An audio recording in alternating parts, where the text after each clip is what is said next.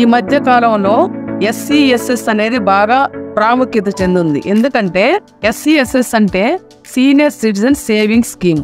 ఈ senior citizen స్కీమ్ని apply చేసుకోవాలి అంటే పోస్ట్ ఆఫీసులో అకౌంట్లు ఉంటాయి బ్యాంక్స్లో అకౌంట్ ఉంటాయి చాలా మందికి. సో వీళ్ళు ఎవరికి ఎక్కడ అకౌంట్స్ ఉన్నాయో ఆ కన్సర్న్ డిపార్ట్మెంట్కి వెళ్ళి వాళ్ళు ఈ విధంగా ఓపెన్ చేసుకోవచ్చు. ఈ సీనియర్ సిటిజన్ సేవింగ్ స్కీమ్ అనేది ముఖ్యంగా ఏజ్ ప్రూఫ్ మీద ఆధారపడి ఉంటుంది. ఎందుకంటే మామూలు వాళ్ళకంటే మీకు కొంచెం బెనిఫిట్ ఉంటుంది కాబట్టి ఈ ఎస్సీఎస్ఎస్ వాళ్ళకి.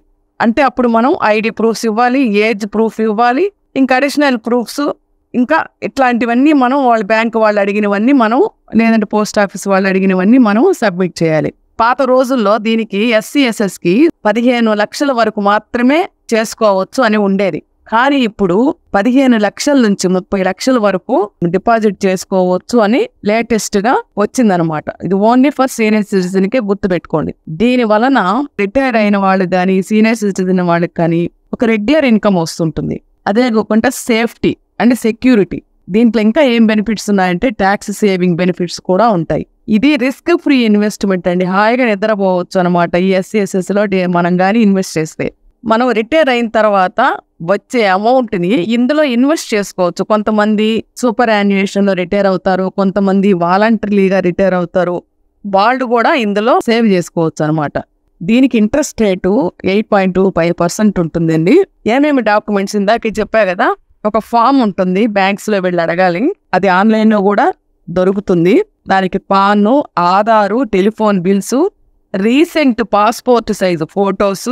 ఒకవేళ జాయింట్గా కావాలనుకుంటే కూడా ఇద్దరి పేరు మీద ఈ ప్రూఫ్స్ అన్ని సబ్మిట్ చేయాలి.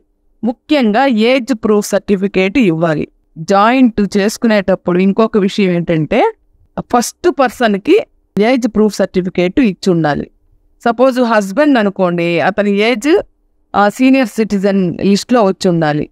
సీనియర్ సిటిజన్ ఇంకా ఓటర్ ఐడి కార్డు కూడా ఇస్తారనమాట అందులో రిటైర్మెంట్ బెనిఫిట్స్ అలకేట్ చేసుకోవచ్చు. ఒకవేళ నేను ఇందాక చెప్పా కదా విఆర్ఎస్ ఇచ్చిన వాళ్ళు కూడా ఇందులో ఎలిజిబిలిటీ మినిమం ఇందులో ఎంత సేవ్ చేసుకోవచ్చు అంటే వెయ్యి రూపాయల నుంచి ముప్పై లక్షల వరకు పొడిగిచ్చారు ఈ మధ్య కాలంలో.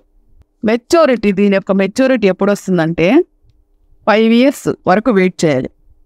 మెచ్యూరిటీ అయిన తర్వాత కావాలంటే ఇంకొక త్రీ ఇయర్స్ కూడా మనం పెంచుకోవచ్చు. ఈ మధ్య కావాలో ఇది కూడా పెంచుకునే ఎలిజిబిలిటీ ఇచ్చారనమాట ఐదేళ్ళు పెట్టాము మనకేం అవసరం పడలేదు. అనుకున్నప్పుడు ఇంకొక త్రీ ఇయర్స్కి మనం దీన్ని పెంచుకోవచ్చు అనమాట ఇంట్రెస్ట్ రేట్ అనేది గవర్నమెంట్ డిటర్మైన్ చేస్తుంది. అంటే చేంజ్ అవుతూ ఉంటుంది అనమాట క్వార్టర్లీ దీని యొక్క ఇంట్రెస్ట్ క్యాలిక్యులేట్ చేసి అకౌంట్కి జమ అవుతుంది. కావాలంటే క్వార్టర్లీ ఇంట్రెస్ట్ని మీ అకౌంట్ కావాలంటే అంటే మాకు ఇంట్రెస్ట్ వరకే ఇవ్వండి అనుకున్నప్పుడు కూడా మీకు క్వార్టర్లీ ఇంట్రెస్ట్ మీ అకౌంట్కి కూడా జమ అవుతుంటుంది. ప్రిన్సిపల్ అలాగే ఉంటుంది. దీంట్లో ట్యాక్స్ బెనిఫిట్స్ కూడా ఉంటాయండి. ఒకవేళ అలా సడన్ మీకు అర్జెంటుగా అమౌంట్ అవసరమైంది దాన్ని ఎలాగైనా ప్రీ మెచ్యూర్ చేసుకోవాలి అనుకున్నారనుకోండి చేసుకోవచ్చు. కానీ మీరు ఫిక్స్డ్ డిపాజిట్ చేసిన తర్వాత వన్ ఇయర్ అయి ఉండాలి.